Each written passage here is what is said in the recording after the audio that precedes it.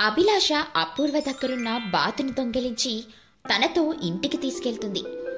ఈ విషయం అపూర్వకి ఇంకా తన అత్త సరితకు తెలియదు. అపూర్వ బాతుని కలవడానికి గదిలోకి వెళ్తుంది. కానీ అక్కడ ఆమెకు బాతు కనిపించదు.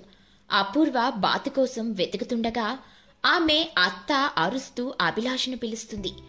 అభిలాష ఓ అభిలాష ఎక్కడున్నావే? నువ్వు? పద అలా బయటికి వెళ్ళొద్దాం. అలా సరిత అరుస్తూ అరుస్తూ బాతు ఉండే గది వరకు వస్తుంది. అపూర్వ బాతు కోసం వెతుకుతూ ఉంటుంది. అప్పుడు అపూర్వ అత్తయ్య కొంచెం ఇలా రండి. అందుకు సరిత ఎందుకే? ఏం జరిగింది? నేను లోపలికి వస్తే అభిలాష నన్ను వెతుక్కుంటూ లోపలికి వస్తుందేమో ఆమె సంగతి వదిలేయండి. ముందు మీరు లోపలికి రండి. దాంతో సరిత లోపలికి వచ్చి తలుపులు వేస్తుంది. మెల్లగా మాట్లాడు. ఏం జరిగిందో చెప్పు. బాతు కనిపించట్లేదు అత్తయ్యా.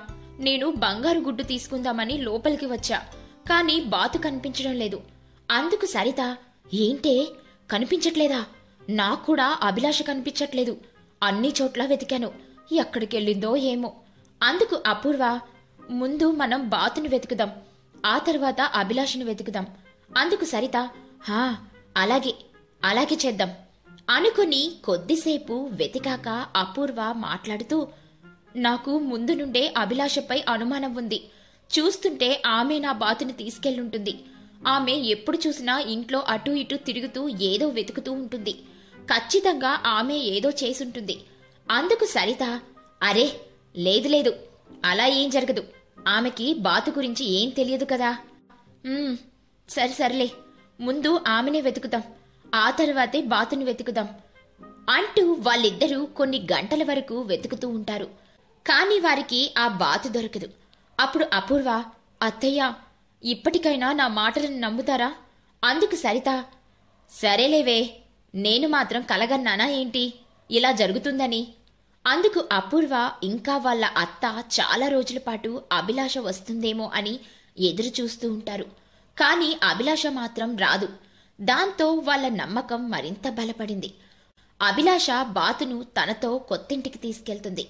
అప్పుడు అభిలాష ఈ బాతు నుండి చాలా బంగారు గుడ్లని తీసుకొని నేను కూడా ధనవంతురాలనైపోవచ్చు. ఏయ్ బాతు నాకు చాలా బంగారు గుడ్లని ఇవ్వు. బాతుకు అభిలాష ఎవరో తెలియదు. అంతేకాకుండా అది అపూర్వ నుండి దూరమైనందుకు చాలా బాధగా ఉంటుంది. నన్ను తిరిగి అపూర్వ దగ్గరికి పంపించండి. నువ్వెవరో నాకు తెలియదు. నేను ఇక్కడ ఉండను. నేను నీకు బంగారు గుడ్లను అస్సలివ్వను ఇది విని అభిలాష బాగా కోపంగా ఉంటుంది. అప్పుడు అభిలాష ఏయ్ నువ్విక్కడే ఉండాలి. నాకు బంగారు గుడ్లనివ్వాలి. లేదంటే నిన్ను చంపేస్తాను. మర్చిపో ఆ ఇంటిని. నేను ఇప్పటికీ నిన్ను తీసుకుపోను. అందుకు బాతు నేను నీకు బంగారు గుడ్లను అస్సలివ్వను నువ్వు మంచిదానివి కాదు. నేను ఇక్కడ ఉండను. నేను అపూర్వ దగ్గరకు వెళ్ళాలి. అందుకు అభిలాష ఏయ్ నోర్మయ్ నీకు కొన్ని రోజులు సమయం ఇస్తున్నా. అప్పటికి ఇలాగే ఉంటే మాత్రం నిన్ను చంపేస్తా. ఇక్కడ అపూర్వ ఇంకా సరిత ప్రతిరోజు బాతును తలుచుకొని బాధపడిపోతూ ఉంటారు. అప్పుడు అపూర్వ అత్తయ్య మీకు ఆ అభిలాష ఇల్లు ఎక్కడో గుర్తుందా? లేదే. తను నాకు ముందే చెప్పింది కొత్త ఇంట్లోకి మారానని కానీ అది ఎక్కడో మాత్రం చెప్పలేదు. ఎక్కడికెళ్ళిందో ఏంటో నా బాతు. ఏ పరిస్థితిలో ఉందో అసలు తింటుందో లేదో. అందుకు సరిత ఏ అపూర్వ ప్రతిసారి నా బాతు నా బాతు అని అనడం మానే. అది నా బాతు కూడా. అదంటే నాకు ప్రేమే. నువ్వెంత బాధపడుతున్నావో నేను కూడా అంతే బాధపడుతున్నా. అందుకు అపూర్వ అత్తయ్య ఇందులో ఏముంది? ఇప్పుడు అది మన దగ్గర లేదు కదా. నాకు నా బాతు కావాలి. మనం బాతును వెతకాలి.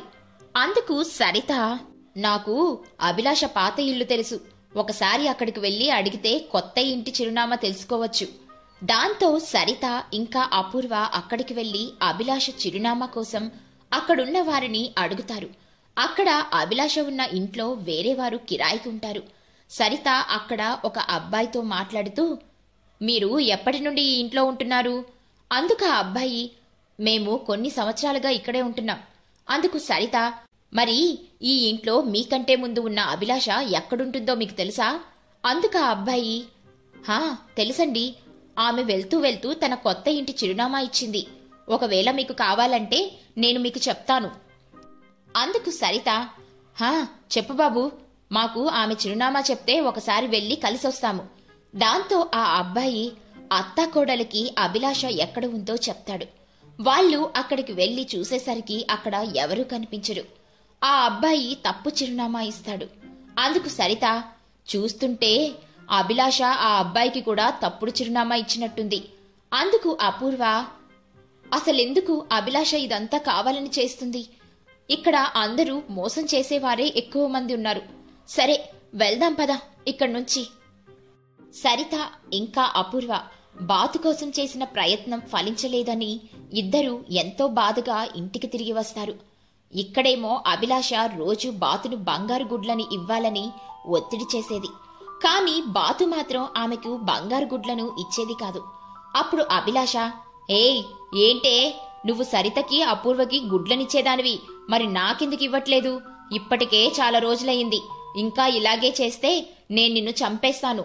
అందుకు బాతు నువ్వు నన్ను బలవంతంగా నన్ను ఇక్కడికి తీసుకొచ్చావు. తినడానికి కూడా ఆహారం ఇవ్వట్లేదు. కానీ దీనివల్ల నాకేం నష్టం కలగదు. నేను మాత్రం బంగారు గుడ్లను అస్సలివ్వను నన్ను తిరిగి అపూర్వ దగ్గరికి పంపించు. అందుకు అభిలాష నీకు ఆఖరి అవకాశం ఇస్తున్నా. బంగారు గుడ్లనిచ్చావా సరే. లేదంటే నేను నిన్ను చంపేస్తాను. అని భయపెట్టేసరికి బాతు భయపడి అందుకు ఒప్పుకుంటుంది.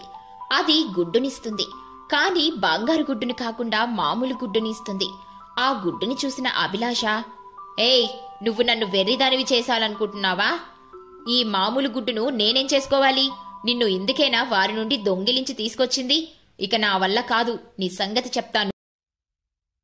అని అభిలాష ఒక కత్తిని తీసుకొస్తుంది. బాతును తరుముతుంది. ఇంటి ద్వారం తెరిచే ఉంటుంది. దాంతో బాతు తప్పించుకొని బయటికి వస్తుంది. ఒక ప్రదేశానికి వచ్చి దాక్కుంటుంది.